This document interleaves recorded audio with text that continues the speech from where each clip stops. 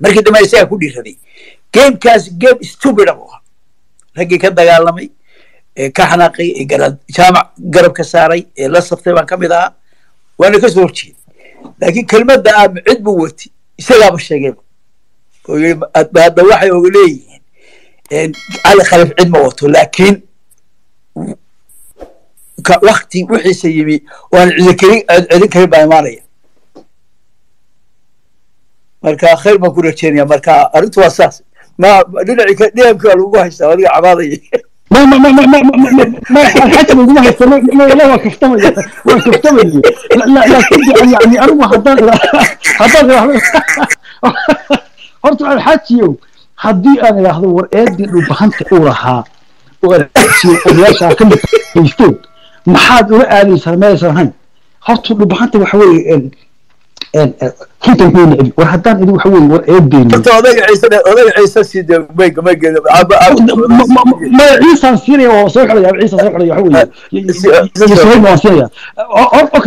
haddii meel space oo aynu ka nidhaahno war dhubahantow inagu waxaynu isu geysanay.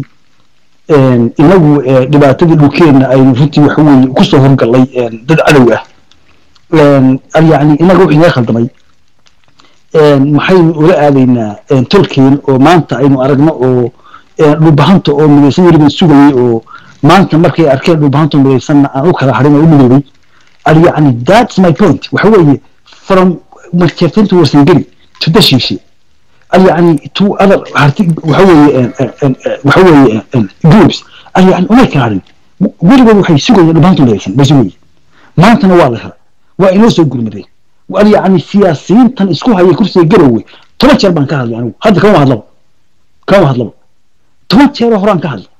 لكن محين هذه نادفين يركني إن نحذينا ها أو فيتي حقيقة ها محين هذه ملكنا حدي تاءت تهنا وبهانت وحي كورنا يعني ما حسأوته ورموك بخب وحدوسا آه، يعني وحوي يعني runtii waxa weeye horgaladeennii iyo siyaasiyiinteenii ku guuldarraysatay inay deegaankan faraha badan oo balaaran waxa weeye hoga haddii aad puntland aadan ogolan maxaad maxaad cashuurta uga qaadi weyda inta u dhaxaysa buuhood iyo eregaabo hadda ka horba ninba wuxuu igu yiri nin reehagara buu ahaa oo bashiir bayden ay madan yihiin baa wuxuu igu yiri marka wuxuu habaarayay bashiir bayden buu habaarayay wuxuu yiri bashiir bayden markaa wuu habaarayay waxaan ku maxay habaaraysaa wuxuu yiri daadgaa wuxuu awoodayay buu yiri early waxa weeye sagaashamaadkii daadgaa wuxuu awoodayay from buuhoodle to eregaabo dhexdeeda inuu ka samaysto maamul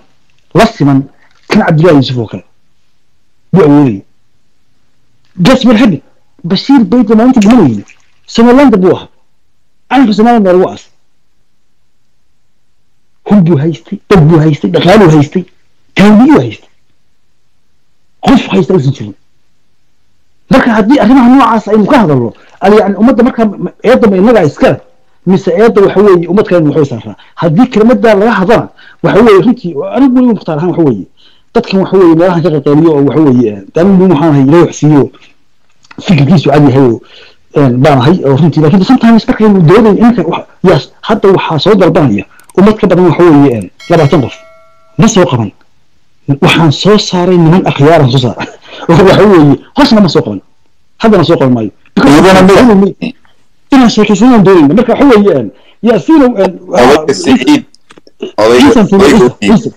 ما عيسى سوريا عيسى سوري عيسى ها عيسى ودي. السلام عليكم. السلام عليكم ورحمة الله وعليكم ورحمة الله وبركاته. ورد كل يوم ما تسنتين mar baan idinka baxayo salaadii waktigii la soo galbeed haddana waa taagan tahay.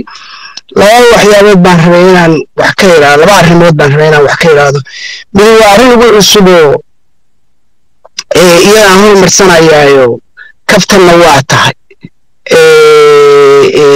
Dadku siday u kala muxuu ahaa loo kala aragti duwan tahayna waa tahay oo aragti maaha laakiin sida sida loo kala yaqaan waxyaabaha qaarkood. Marka arrintaas waxa weeye kelmadda ah qalas qalas. Anigu markaan koraayey soomaaliyana joogay qalaska waxaan u aqiin ma rabo in wax loo qaato. Laakiin macnaha waxaan ka wadaa sida kelmadda anigu aan u aqriinayo waagaan dambe siday u soo baxday. Anigu waxaan u aqrin qalaska qof aan waxba kala aqoon oo waxba lagu aaminin oo aan caaqibo lahayn dagaalkii hadduu dhacay qalaskii hadda wuxuu noqday nooc kaluu noqday nin raga oo dagaalyahana oo muxuu ahaa sanka ka hadlaya oo nin ku toosa keliya aanayna boqol ku toosa.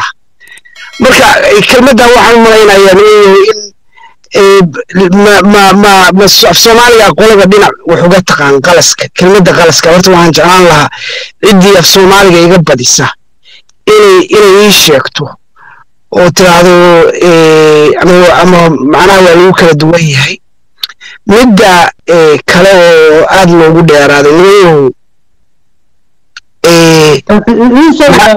ciisow halkaa five second waxa weeyaan qalas iyo qalaas weeye marka macnaha qalaas waa qof macnaha waxba ahayn laakiin qalas waxa weeye waa waa qalas weeye marka qalas waa nin ha laakiin qalaas macnaha waxa weeye xarafku wuxuu noqonayaa midna qalas wuxuu noqonayaa midna wuxuu noqonayaa qalaas marka qalaas amba waan garanaya qalaas qofkaasi waa qalaas weeye macnaha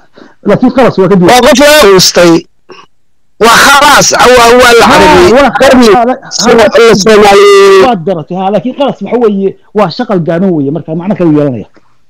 Ha ha midda kale arrintan hadeer laysku laga wada hadhadlay horta sideeda inaynu hal meel wax ka fiirino weeyo objectively intaynu u fiirino laba dhinac subjectively laga saaro. Laba dhinac baa wax laga kala fiirinaya nina wuxuu joogaa laascaano okiyaalo waxa u gashan uu ku fiirinayo dhinaca garowe macnaha markaan ka hadlayo waxa weeye dowladnimadii meesha ka jiray iyo maamulkii ka jiray shacabku shacabku ma uusan ahayn dowladnimada. Marka wuxuu arkayaa waxyaabo badan oo u arko inay khaldanaayeen oo rabay in wax laga qabto.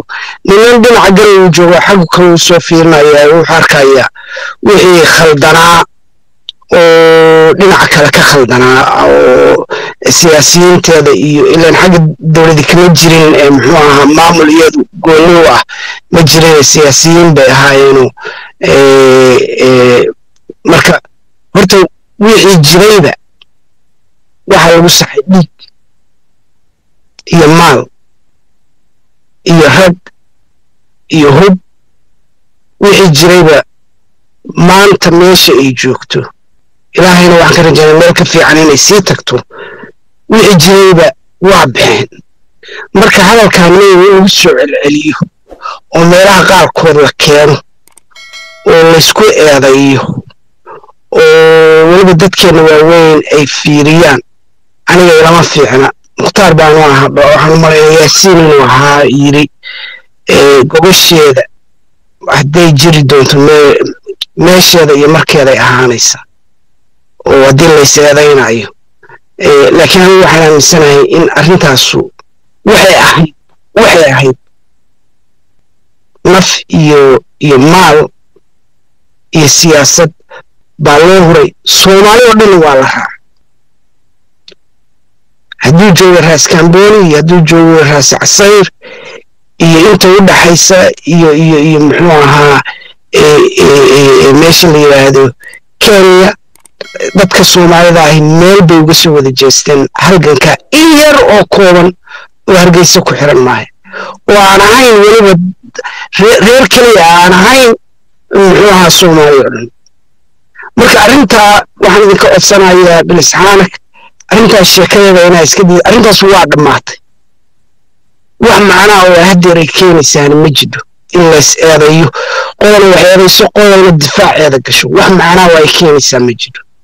Marka in arrintaas meesheeda lagu joojiyo maalin dambe aan lays lays eedayno cid baa saas ahayd iyo cid baa keer ahayd iyo inaan la oran sababtaa wixii jiray haddii kale waxay noqonaysaa gabaygii ninkii tiriyey ahaa.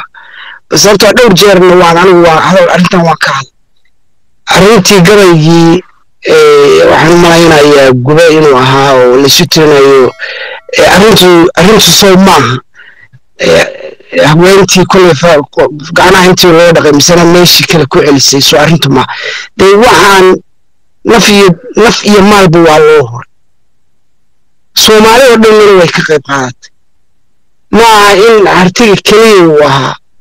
Dadka xamar joogay ama meel kale joogay oo arrintan soo dhoweeyey oo maalin walba ka dirirayay oo maalin walba u arkaya waxa laasxaana ka dhacaya iyo dhibta lagu hayo. Iyo iyo mowqifka dadku istaageen oo soomaalinimada iyo calanka iyo iyo dadnimada ay muujiyeen inayna marmarka qaarkood hadalkooda ka fikada maaha.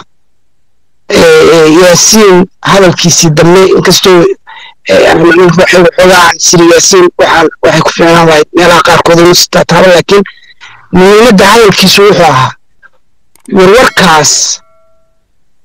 la rabo in laga hadlo maalinteeda iyo meesheeda ah naf iyo maal baa loo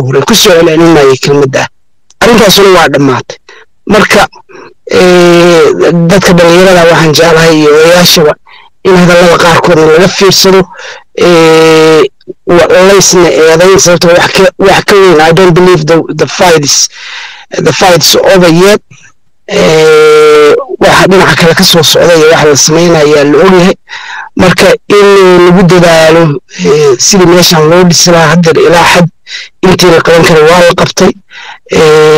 Wixii lagu taageeri karo oo muxuu ahaa talo iyo tusaale iyo waxtarana la taro lana dhiso muxuu ahaa dowladna laga soo saaro oo kambeynka la galo xamar oo la yidhaahdo waxaan doonaynaa in dowladda federaalka ay go'aan gaadho.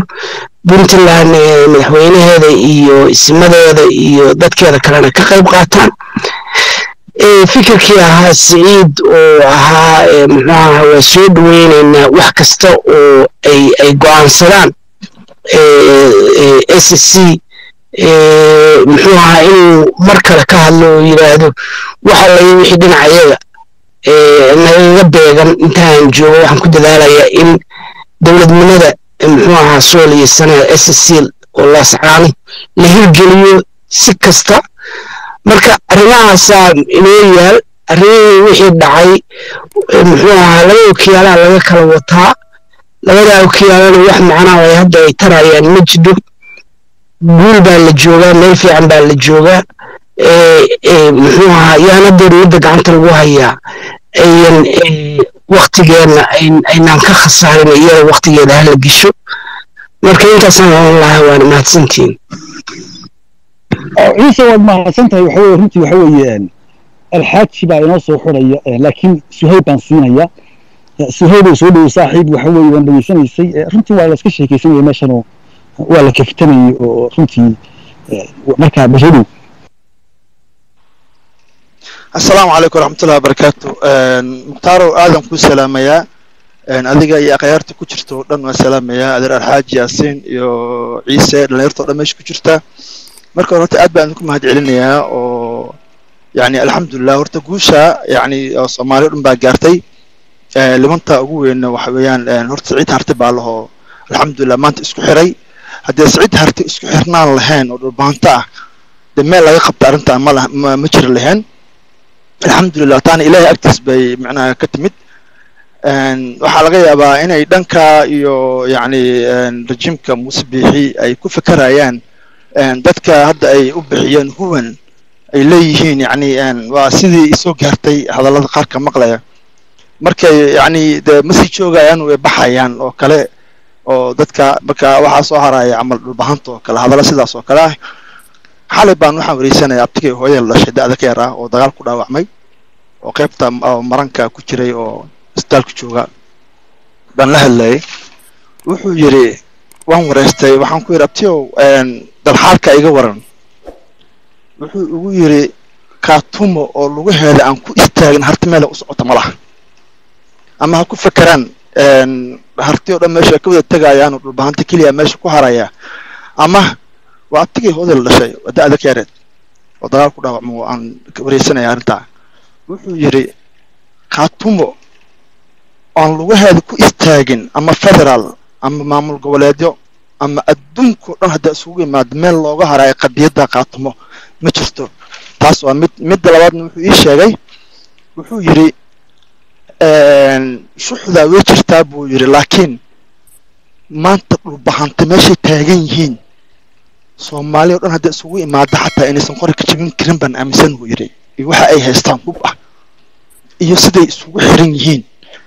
Iyo siday walaalo u noqdeen oo yacnii hal qof bay noqdeen. Waa hal qof hal far bay noqdeen. Dad hal far ahane ummad oo dhan hadda iskugu imaado. Walaa inaysan qoran ka jebin karin marka waxaan u mahad horta soomaali o dhan oo ka qayb gasha baan u mahad celinayaa walaalka yaasiinna aad baan ugu mahad celinayaa oo arrinta aad ololo aad u ballaaran ka qaatay. Mukhtarow adigana macnaha waxaan kugu ammaanayaa nio intaan space joogay aan arkayay aniga. Weli one ama hal maalin. Space walban waa iskugu soo galnaayo oo wada joognaa dad ehel baan nahay. Wallaahi hal maalin adigoo harti kala saaraya ama harti meel lagu kala saaraya dhex jooga oo iska dhegaysanaya weli maana arag. Isku xirnaashahooda iyo dadnimadoodii iyo yacni inay soomaali wax la qaybsadaan.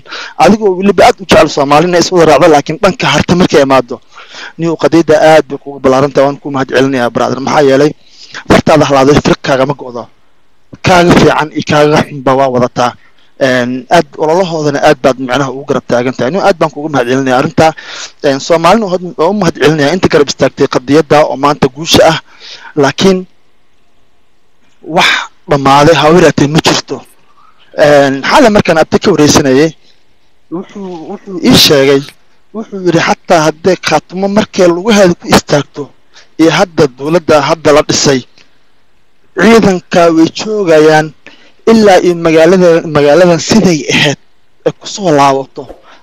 Waxaa laga yaabaa inay qayb dib u laabato qayb kale la keeno oo dadka ehele iyo wixii leeyihiin ugu yidhi wuxuu yidhi ilaa lascaano siday ahayd shalay dadkeeda noloshooda ummadda dadka ku noolaa oo dhan saaxiibooda wada haystaan? Meel loogu socdo malaa dad ku fikerayow inay dadka micnaha kala soocayn wax kala soocanna ma jirto? Dadka waa harti guushaan dhulbahantaa laho yani hadduusu dhulbahanta israacin harti meesha soo gelan dagaalkan iska raacitaankooda shalaba dagaal way gelayeen dadka aaminsan macnaha guusha harta harta keliya ma keenin dhulbahantaan sabab u ah number one sababto aan waxaa keentay waxaa macnaha harti dagaalka ku soo geli kartaa dhulbahantoo hal ah laakiin dhulbahantoo laba qayb ah harti yuu la dagaalaa mawlaadkiisa kale ula dagaalaa waa maya marka dadka aaminsan dad kala saare kala saar ma jiro laakiin guusha dhulbahanta ayaa leh ilaahna ciziga iyo sharaftaa siiyey walaalahooda hartina waa ku garab istaagin maadaama hal qof isku noqdeen. Dadka dhankaa ka soo jeedan qadiyadooda maysan ahayn inay macnaha la dagaalaan dhulbahante ee la dagaalan qadiyadooda ma ahayn. Qadiyadooda waxay ahayd dhulbahanta insa dhulkaa wax ku nool oo dhan saaxadda in laga tiro maxaa yeelay dadka la baabi'iyey ciidan ma ahayn dadka la baabi'iyey shacab buu ahaa. Maxaa yeelay shacab aan ciidan aan shacab lahaynna dad ma aha. Dadna waxaan ku nahay shacabka oo meesha ku nool baa dad ku nahay marka alxamdulilah ilaah mahadle dad baaba'ayn aan dad loo dhammayn karna ma jirto. Dadka ka qayb galay oo dhan dadka adin iyo af iyo dhaqaale kaga qayb galayna aad baan ugu mahad celinayaa. Guushaan siduu ilaahay inuu siiyey inuu inuu xijaa rajaynayaa meel ay u kala socoto dalweyne hartana ma jirto.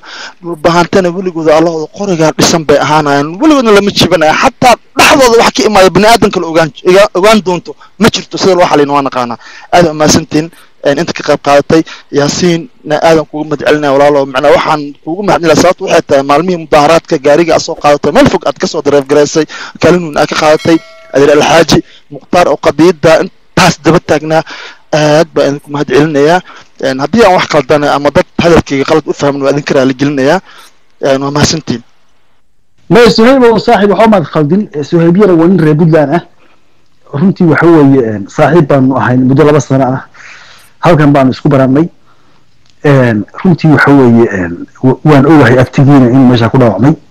Laftigiisuna dhaqaale fara badan uu ku bixiyey oo maraykan buu joogaa suhayba waxa weeye runtii waan la socdaa xataa sometimes anigu waxa weeye odhan jiray mar aan aaday wadankii intii uu socday halgankani mukhtaaro maxaad u baahan tahay waxaan ku inaad waad mahadsan tahay. Walahi been ii sheegi maayo. Arrintaa waa ii sheegaya. Mukhtaaro maxaad u baahan buu odhan jiray wax kalena ma ahayne halganka waxa weeye waxbuu dareerayay marka anyway suhayb waa mahadsan yahay.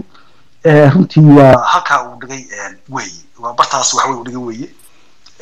Waan ka xumahay dad fara badan oo soo codsaday ma aanan rabin inaan soo qabto. Sababtoo ah waxa weeye spaceku ma aanan doonayn inuu noqdo meel laisugu jawaabo waxaan doonaya keliya inaan ka faa'iidaysto waxa weeye akhyaartan xagga sare saaran oo qiimaha badan kelimadahooda. Runtii marka waxaan yaasiin iyo alxaaji iyo cusmaan baan iyo ciisana siin doonaa oo inoo soo xidi doona. Waxaan ku horeysiinayaa alxaaji ha inoogu dambeeya yaasiin. Asalaamu calaykum waa mahadsantii khayr baan idin rajeynaya. Horta aad baad u mahadsantahay mukhtaar mukhtaar horta fariid falan baa tag fariid falan ma taqaanaa weligay fariid kaa falan weligay ma arag fariid falan baa tag laakiin khayr allah ku siiyo. Mar haddaad cabdullaahi shariif oo adeerkaa yahay raganima kuguma yara xiliyaa ku shadaya waa ku oga. Laakiin khayr baan ku rajeynaya insha allah laakiin dadkana isku hana kala fogaan. Adee laftaa mar faraskii dhoodimeele waa laa raacdaayo aan kaa joojin kari weynaa oo nafta isugu kaaya keenta. Marka bal khayr allah ku siiyo d m-ka jaamaca iska ilaali jaamaca dad mar d m-ka kugu soo galo dee naftaa kaa baxaysa jaamacada waad ogta seeftu haystaa marka kole khayr baan ku rajeynaya dhammaantiina cafiya musaamax waxaan leeyahay akhyaar badan ba halka iga muuqata. Hadalkii ciisena waa sidiisaan u qaatay anigu waa insha allah waa waa waa dareemaya ciise. Waa dadka aan ku bartay social mediaha aan hadallada aan hadalkiisuna dheerayn cunfi badanna aan lahayn. Intaan arkayay marka aad baan u soo dhaweynaya ciise hadalladaada waana dadka soo dhaweynayaana ka mid ahay. Qof kasta oo hadalkayga dhibsadana waxaan jeclahay inuu raalli ka noqdo. Siyaasadda hore dee waxa inoo soo dhaafayna. Waa taariikh oo taariikhdu jiilasheenay u waacan tahay waa inagoo isu wada qalbi furan oo sheekaysanan oo siyaasadda isku dilayna inaynu haddana wax wada qabsan karno in la arko. Maxaa wadaan lahaa nin habriyonisoo meel furtay wuxuu yidhi marteerteen iyo warsangel iyo dhulbahanta wax ma wada yeelan karaan. Weliba siiba warsangel iyo dhulbahanta wax ma wada yeelan karaan markaasaan ku uri oo ka abukore qodaal ka yimi iyo adoo hawd ka yimi waxaad wada leedihiin. Say wax u wada yeelan waaye annagu marti o dhan marka sugayo habar jeclee la siman yihiin. Marka dadka saas qaba baynu dhinac ku haynaa. Marka inagu reer hal yaroo family aynu nahayba oo harti la yidhahdo harti habar jeclaynu la simannahay marka la sii eego. Marka nima wax badan oo na ka dhexeeya dad haddaa artaan is haysta waa haddaa artaan laba qof waxta isdildilayo isku haysta waa dad weeye dad is-aabaa wax iska sheega ismaaga istuhuma istiltilmaama dadan waxba soo hayn ma kala cawdaana way way isdilaano birta iska asnaan marka anigu ma garanayo intii aan jiray. Dagaal safaynahoo reerahaas dhex maray hartiga oo la yidhi waa la isdilay de waktiyadii dagaalkii sayid maxamed cabdullah xasan iyo gumaystuhu joogay iyo waktigaas inagu shaqadeenna ma ahayn. Inaga lafteenna waxaynu kala ahayn fardo meel ma kala marayaynu ahayn. Laakiin wixii ka dambeeyey anigu ma maqal taariikhdana kuma arag dad saa isu dilo saf iyo saf isu dilay. Laakiin dhinaca xagga naga xiga anagu saf saf baanu isu dilaa. Saaqa waxaa laga yaabaa tobankii sanaba inaanu saddex jeer isgallo oo aanu maryo dhiiga kala furano marka taasaa waxay keenaysaa in aynu ku kala duwannahay dhiig aynu kala duwannaho dadka dhiigu dee midida dhubaatii isdilaa waa laga yaaba midida suquuraan oo ay kowska dhigaan haddana iska heshiiyaan. Laakiin dhulbahantiya warsigalo isdilaysa arki maysaan oo saf balaaris gelaya weliga ma dhicin nolosheed ma dhicin dhulbahantiya mateertoona saf balaaris qaatay ma dhicin dashisha oo maba gaarin laakiin xabada la iska dilaa marka taas waxay kutusaysaa waxa la isu yahay iyo waxa la xirinayo iyo waxa la isu yahay bay kutusaysaa marka waxa kalena waa iska sheeko iyo hadal marka hadalkii waxaan ku soo gabagabanaya anigu khayr iyo barakaan idin rajeynayaa bisinkaa loo qabto shacabir adeeradna waa ku salaamay basharaf baad iga mudantii kullidiin dhammaantiin qofkii wax qaba iyo qofkaan waxay qabin baan waxaa leeyahay war anugu qolle qalbigeyga waxba kuma xidho ama dadka qalbi saafiga baan hadalkaygana waa sheegtaa waan ka dhaqaaqa waa mahadsantii khayr baan idin rajeynaya alxaaji waad mahadsan tahay aan kula kaftama waxa weeye de adiguna may maygan kulu oo waxa weeye bal anigii baad waxa weeye marka bal maygan kulu waxa weeye waay waay waay waay waay waay waay waay ayahay mukhtaar waa ku salaamay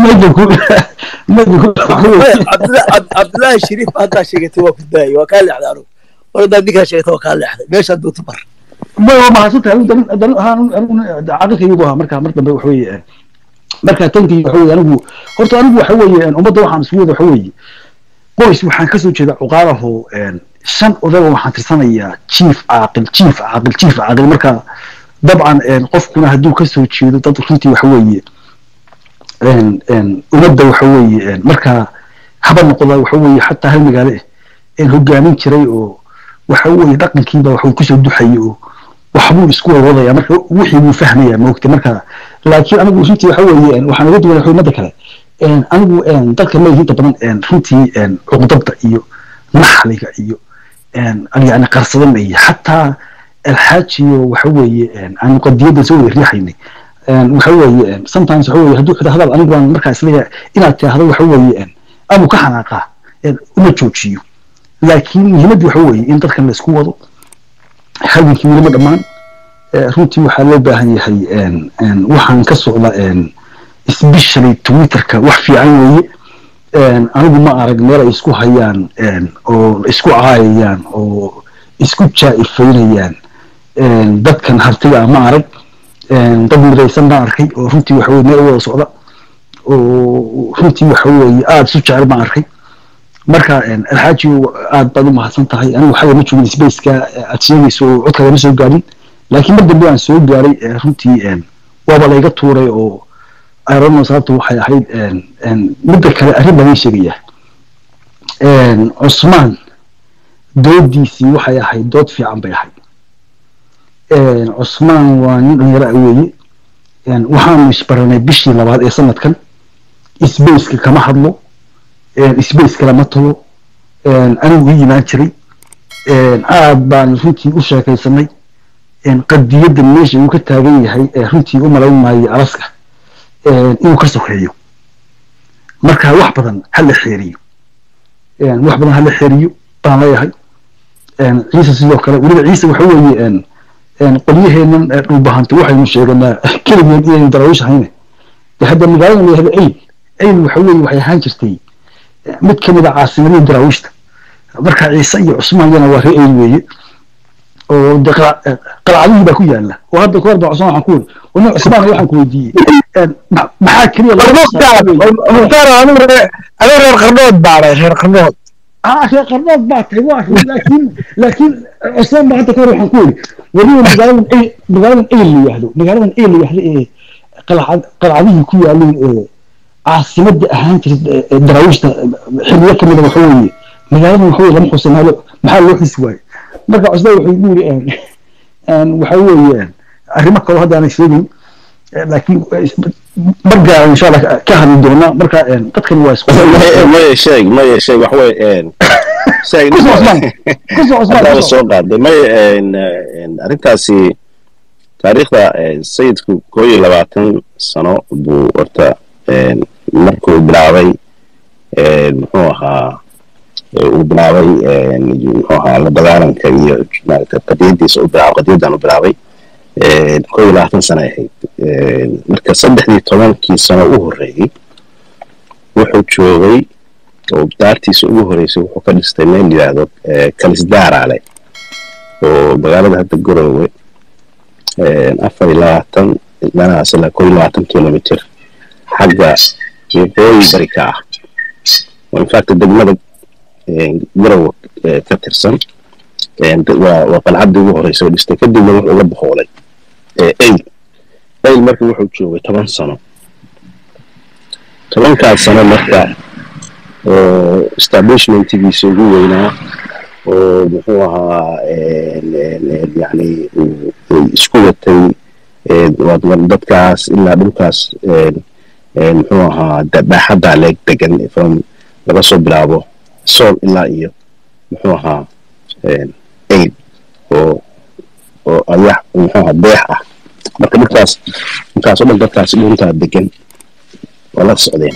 Marka inaan la taariikhdaasi runtii la qorin oo mudnaanta ay lahayd la siin win ma aha wax kale ma ahayne waxay ahayd qoraalkii taariikhda soomaaliya iskuullada la geliyey baa waxaa muxuu ahaa qoray muxuu ahaa raggii qoray oo gabayadaas marka gabayada intooda badan intii tareex u joogay iyo maaragtay muxuu ahay markaa u socday abaabulka u socday ku xusa keliya waxa ahay raggii tareex xarunta ka dhigtay oo maaragtay aqoon-yahanka ahaa qoraayaasha ahaa waajaa ka mid ahaa iyo odagii kale oo taariikhyahanka ahaa oo muxuu ahaa jabuuti ku dhiman jiray magaciisa waa uga maqan yahay oo isaguna reer dhulbahantaha ahaa raggaasaa intaa taariikhda halkaa ka xusay meelo waa jirtay xagga ay laga xusay oo maaragtay canjeel talawaa iyo taariikhda isagu maaragtay arrimaha ku salaysnayd iyo muxuu ahaa inqalaabkii meeshaas ka dhacay xilliga laakiin siday ahayd looma xusin. Marka taasi waa intaa un wax kale maaragtay oo hidden agenda ah ma jirin ee waxa weeye in dib loo qoro.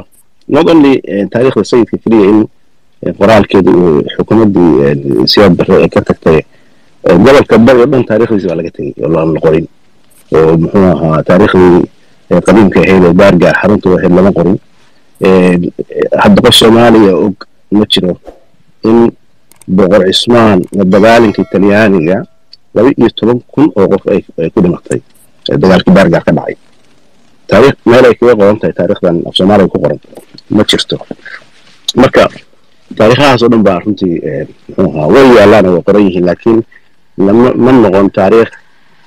Curriculumka soomaaliya inta la geliyey oo muxuu ahaa dadka loo dhigay. Marka taas qodobka arrinteedni kale haddaan u soo noqono si fiican baan runtii muxuu ahaa uga mahadcelinaya yaasiin iyo ciise. Muxuu ahaa arrinta meelay dhigeen odayaalna weeye. Wax kalena anigu gaar igu ahaa ma jirine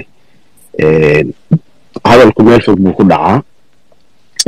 Nabuxna meel dhow ku dhacaa soomaalidu tirahdaa guri reerkiiyo geedi ah. In maaragtay muxuu ahaa dib lasugu soo noqdo waa ila falxunayd aniga aniga shaksiyan intaa maaragtay personal igu ahayd ma ahe. Arrinta tan baysan u fiicnayn.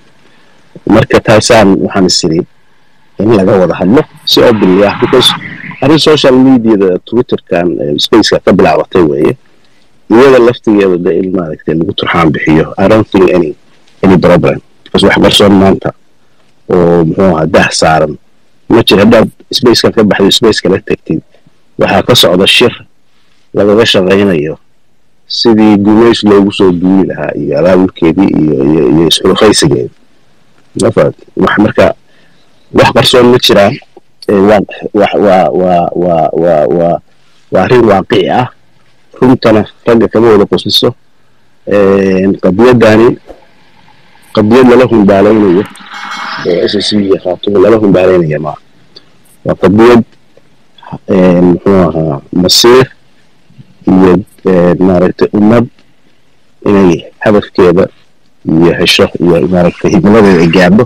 Soomaalina aysan waxba ku yeelayn ay leeyihiin war waxaan u baahannahay feergo banaadir oo gebigeeda markii laysku daro gobol ahaan labaatan kilomitr isku waraan ahayn baa la fadhiisata awood qaybsiga stejyada muxuu ahaa kale waa jira oo qaarkood ilaa shan lix gobol ka kooban yihiin mafahanta marka meeshaanna waxa weeye soomaaliya haddii waxa weeye burg baa laga soo kabanayaa grievances baa jira dad badan baa awood qaybsiga hadda modelka jira aanan ku lahayn muxuu ahaa representativekii ay mudnaayeen marka reerkan s s c iyo khaatimo dadkan deegaankan weyn degan xaq bay u leeyihiin inay helaan. Ninna marti ugama aha nin ogol iyo nin nin diidanba marka arrintu marka halkaa ay taagan tahay in halkaa laga sii wado waan anigu jeclahay.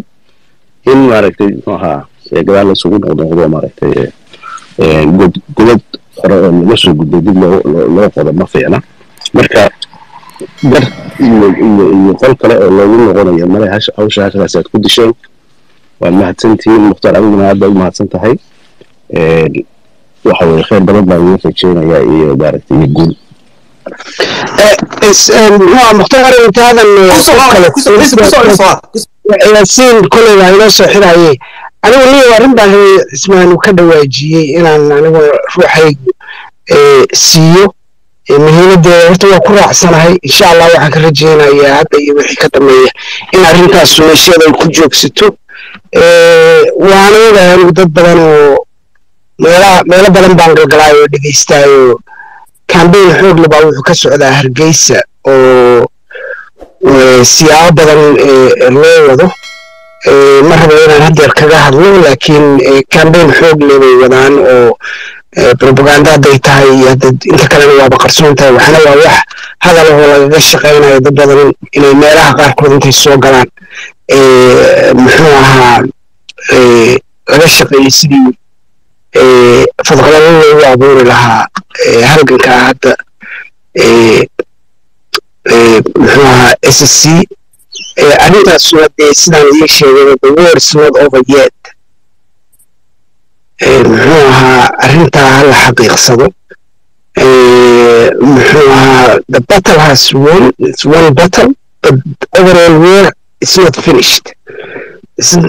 Done deal yet. Ciddii marka arrintaas gacanta ku haysana inay inay og baan rajeynaya arrinta ismaan uu ka hadlay oo ahayd qoridda taariikhda soomaalida aniga haddeer awoowahay ina boqor ahaa wuxuu goostay inuu ka qayb qaato dagaalkii faamiliguna aad baa layskaga horyimi. Baargaal iyo calolada waa ka yimi isagoo raggiisii wata wuxuuna ka soo qayb galay. Muxuu ahaa halgankii sayidka. Adeerkay ciise boolowaa oo ninka lagu magac daray ahaa inkastoo aabbahay nin qabiilaya uu noo baxshay ciise maxamuud iyo cumar maxamuud iyo cismaan maxamuud baanu kala ahayn. Laakiin ninkaas baa aniga laygu magac darayoo wuxuu ahaa ninkii daraawiishta u ahaa wasiirka arrimaha dibadda. Gabayo badan baana buugga kaga ku qoran raaxo oo ahayd sayidka walaashiisna wuu guursaday carruur bay u dhashay. Markii dambena wuxuu ka mid ahaa dadkii cadan la geeyey oo lagu xiray kadibna la geeyey. Casmara kadibna loo qaaday jasiiradaha maldives muxuu ahaa indian ocean ku yaado madagascar iyo seychelles iyo mauritius. Buu dhowr meelood kaga xiraa taniyo markii la soo daayey oo wakti dambe ahayd. Saddex walaalihiis oo aniga adeeraday ahaana waa ku dhinteen markii dambena ayuu yahay wuu iskaga yimi sayidka oo siyaasaddii sida wax loo waday baan laysku fahmi waayey oo wuxuu ku aasanyay meesha la yidhaahdo laakiin aabbahay wuxuu ku dhashay taleex ayeeyaashay aniga reerkaa dhulbaahanta way ka wada tirsan yihiin. Muxuu ahaa dhinaca marka markaan anagu reer maxamuudooda waanu dhinacayaga ka sheekaysanayno ama cismaan maxamuudka waxaan nidhaahnaa harti la hubay annaga weeye sababtaa warsangeli iyo dhulbahante iyo baana wada dhalay oo nin halkaas muxuu ahaa dhiiggiisu uu yaal baana. Marka muhiimad weyn bay ii leedahay. Laakiin taariikhda sayidka sida cismaan sheegay annagoo faamil ahaan ka mid ahayn dadkii halgankaa ka qayb qaatay oo boqortooyadii ka yimi haddana taariikhdu ma ayan qorin. Oo taariikhdu ma ayan qorin wixii ka khaldanaa muxuu ahaa taariikhda soomaaliyeed oo lagu focus gareeyey in jiritaankeeda iyo kambeynkeeda la dagaalanka shisheeyaha waddankeena soo galay siday ahayd looma qorin. Mas'uuliyaddana waxaa lahaa dowladda keliya ma ahayn dadkiina af ingiriisiga yaqaan waxaan idinkula talin lahaa inaa akhridaan qoraal soo baxay kii oo la yidhaahdo a cultural heritage for national liberation.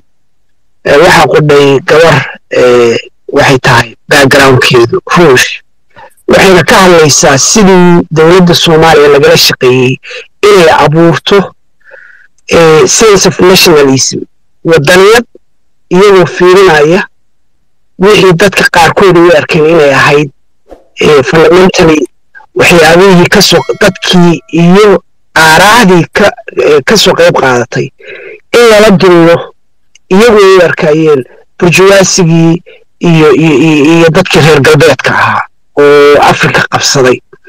Dadkii marka siyaasaddaa waday oo mas'uulka ay ka ahayd hay'adda institute la oran jiray african international studies oo moos ku yiil baa nineteen seventygii siyaad markay wada kulmeen dowladda ruushka wuxuu waxaan rabnaa inaan nagala shaqaysan wixii aanu samayn lahayn.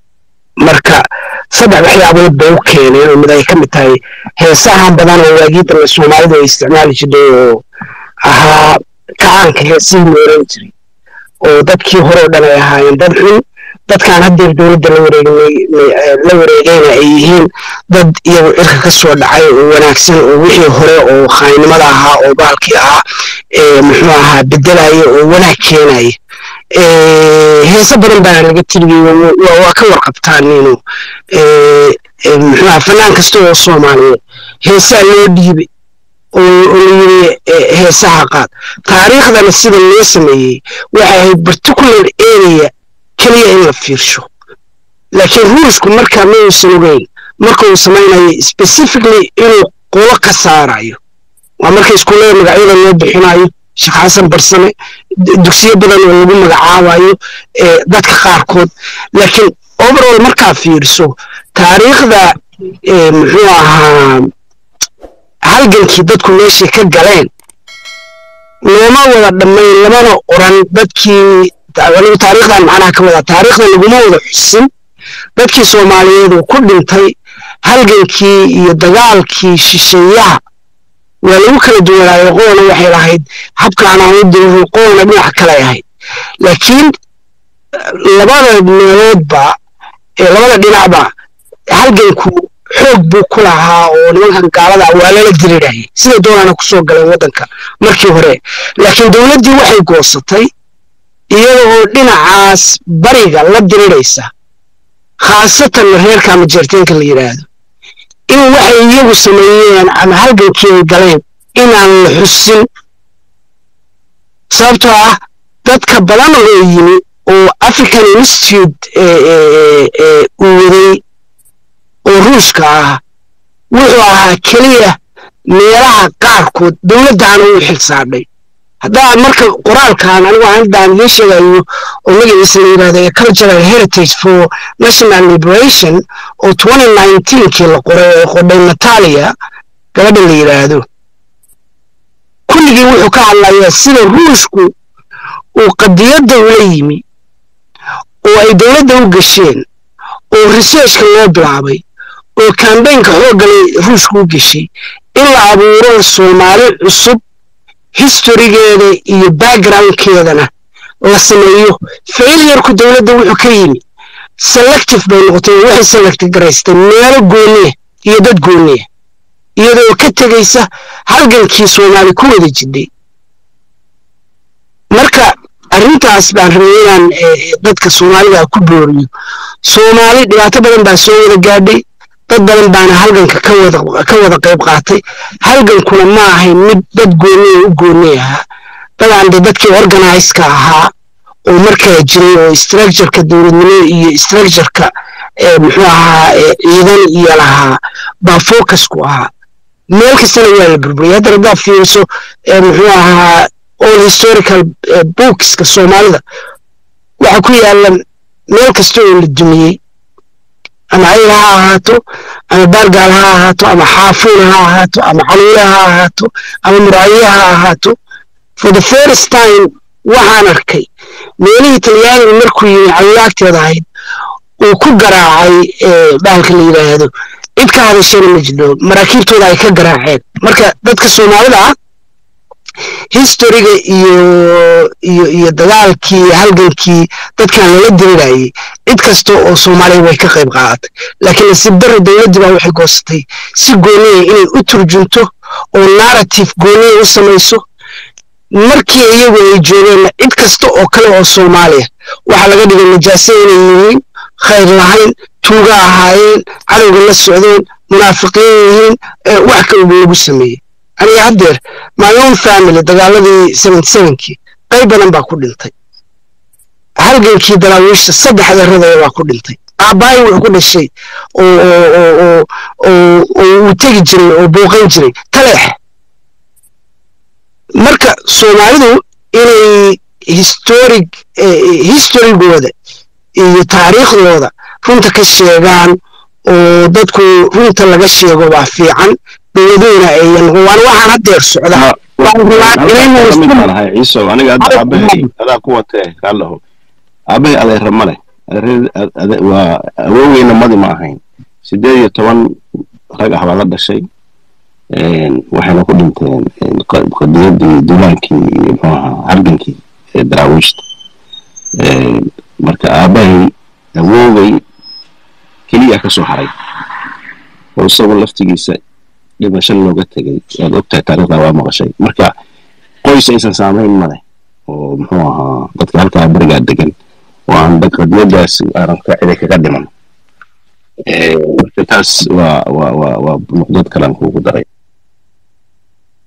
waa mahadsantahay marka waa mahadsantahay intaasaan ku socoshay laakiin waxaan idinkula talin lahaa inaad fiirisaan qoraalada badan iyo buugta badan oo soo baxay kadib markuu burburay soviet unionku. Oo lagaga hadlayo sida soviet unionku uu influence gareeyey africa khaasatan horn of africa khaasatan soomaaliya. Wax badan oo siyaad la oran jiray lagu eedeyn jiray. Infact waxay ahayd policy ay wateen muxuu ahaa dowladdii ruushku anu waxaan isustaa qardho oo boomin ah baa layga kaxayey seventrigii markaan xamar tegey scientific socialism baa la qaatay. seventy sixkii baa gadaal laygu soo ceshay.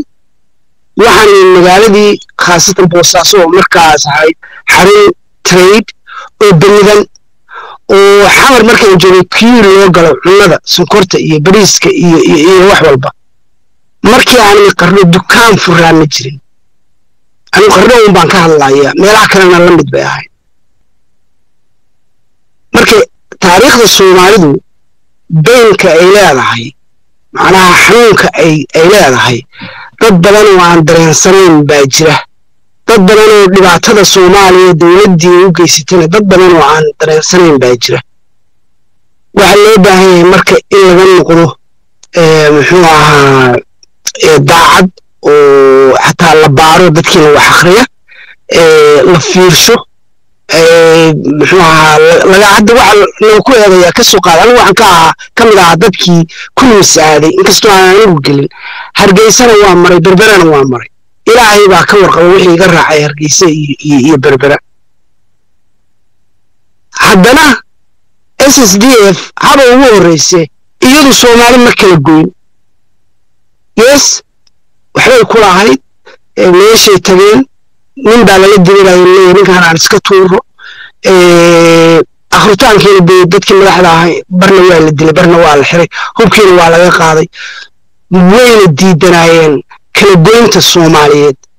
Etoobiyana markii dambe waxay taageerdhay labo muxuu ahaa saddex xisbi oo snm u s c iyo iyo waxaan malaynay s b m inay ahayd siyaad bana markii xerada laga soo saarayay dhalinyaro dhafoorqiiqa la oran jiray oo ka soo noqday s s d f niman ka saaray. Xataa reerkiis waa ka carareen